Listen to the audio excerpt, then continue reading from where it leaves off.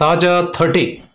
వైకాపా అధ్యక్షుడు జగన్మోహన్ రెడ్డి ఎప్పుడు ఎలాంటి నిర్ణయాలు తీసుకుంటారో ఎవరు ఊహించలేరు. చివరికి సొంత పార్టీ జనాలు కూడా ఊహించలేని పరిస్థితి. ఆయన తీసుకునే చాలా నిర్ణయాల పట్ల ఆ పార్టీ ముఖ్య నేతలే తీవ్ర అసంతృప్తితో ఉన్నారని ఎప్పుడు అంటారు కొందరు.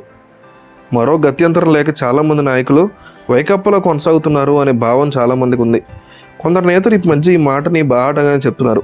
ఎప్పటికప్పుడు తనను నమ్ముకున్న నాయకులు షాక్ ఇవ్వడంలో జగన్ ఆరితేరిపోయాడట తాజాగా ఈ జాబితాలో వైకాపా నాయకుడు సీనియర్ నాయకుడు బొత్స సత్యనారాయణ కూడా చేరిపోయాడని వార్తలు ఇప్పుడు జోరందుకుంటున్నాయి.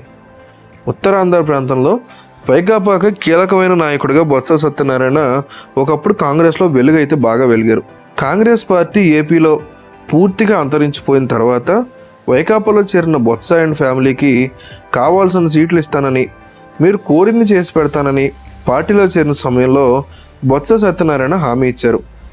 అయితే బొత్స కోరిన విధంగా రాజ్యసభ సీటు ఎమ్మెల్సీ సీటు ఇచ్చే విషయంలో ఆయన జనం పొరపాటును కూడా కరిగించలేదు అయితే ఎమ్మెల్యేగా గెలిచినటువంటి మళ్ళీ మంత్రి అవ్వాలని భావించి వైకాపాలో కొనసాగుతున్నారు బొత్స.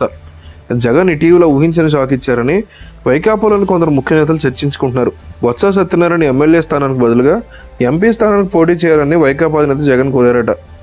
ఎంపీగా తన మారి ఝాన్సీ పోటీ చేస్తుందని బొత్స చెప్పారు. అయితే వచ్చే ఎన్నికల్లో మీ సత్యమణి ఝాన్సీకి టికెట్ ఇచ్చే విషయంలో తాను ఇంకా ఎలాంటి నిర్ణయం తీసుకోలేదని జగన్ చెప్పడంతో బొత్స ఎన్నుకోక ఒకసారిగా కోపం వచ్చింది. ఆయన అర్చనలు దీని గురించి మాట్లాడుకుంటున్నారు ఇప్పుడు. విజయనగరం జిల్లాలో బొత్సాన్ని పక్కన పెట్టి ఆయన వ్యతిరేకించే గ్రూప్ ఒకటి జగన్ ప్రోత్సహిస్తున్నాడని అనుకుంటున్నారు. బొత్స అనుసరులు ఏమీ రగిలిపోతున్నారు. చూస్తుంటే వైకాపాలో బొత్సకి ఊహించిన షాకే తగిలేలా ఉంది.